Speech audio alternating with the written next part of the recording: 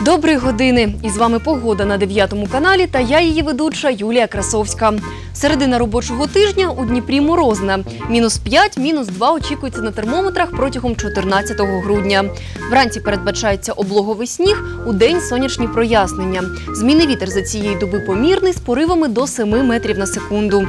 Вологість повітря висока, на відміну від атмосферного тиску, який не полишатиме меж норми.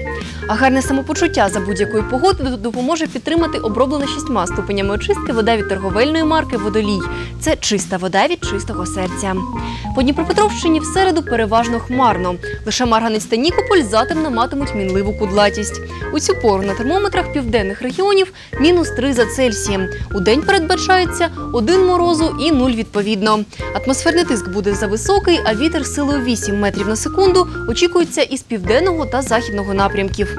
Опадів чи інших погодних явищ тут не прогнозують, так само як і на заході області. У Кривому Розі мінус 4, 0 за вікном. У жовтих водах діапазон вужчий мінус 3, мінус 1. Тиск атмосфери тут комфортний, південно-західний вітер до 8 одиниць швидкості. Кам'янське, Новомосковське, Павлоград матимуть відповідно 7, 5 та 6 метрів на секунду.